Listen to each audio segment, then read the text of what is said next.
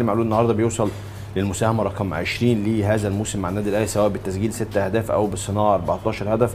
ورقة مؤثرة جدا وحتى هذه اللحظة مارس الكره ما بيقدرش يسحبه في أي لحظة. أكيد مليون في المية بس يعني أنا شايف إن حسين الشحات ومجهود حسين الشحات في الجبهة اليسرى فرق قوي في الزيادة الهجومية. كان كل زيادة بالنسبة لعلي معلول كانت محسوبة.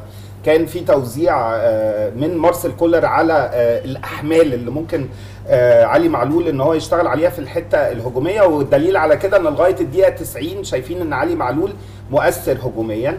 الأهلي النهارده كريم اللي ساعد برضه على فكرة إن إن القصة والحمل كله ما يبقاش على علي معلول أو حتى كمان حسين الشحات إن هو جرب أنماط اللعب اللي إحنا شفنا الأهلي فعال فيها في المباريات اللي فاتت. كان في كور طولية وكان في كور عميقة وتمريرات بينية ومنهم آه، واحدة أو اتنين لمحمد شريف في الشوط الثاني ومحمد شريف يعني ما ما يعني ما استغلهمش بالشكل الأمثل. آه علي معلول من اللعيبة الذكية جدا يا كريم اللي إحنا بنشوفهم قليل في الكرة المصرية اللعيبة اللي بتعرف توزع المجهود بتاعها على مدار ال 90 دقيقة بشكل جيد جدا.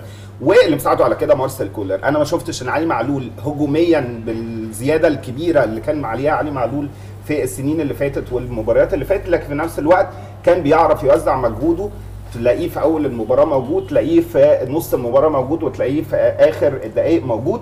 و آه، يعني حسين الشحات بيعمل كل حاجة في الكورة بقاله فترة وبيساعد علي معلول وبيساعد كمان الثنائي اللي بيلعب معاه في هجوم النادي الأهلي في إن هو يبقى مؤثر على مدار فترات المباراة. فعلي معلول شابوه على فكرة إن هو بالذكاء الكافي إن هو ما يبانش بدنيا قليل في أي وقت من الأوقات لكن مارسيل كولر لازم يفكر إن علي معلول في المباريات القادمة بالنسبة للدوري غير المباريات المهمة أو مع المنافسين المباشرين إن علي معلول لازم ياخد دقائق راحة الاهلي داخل على معترك قوي جدا في المباريات ممكن مباراة سموحة اللي جاية. بالظبط طيب. بالظبط.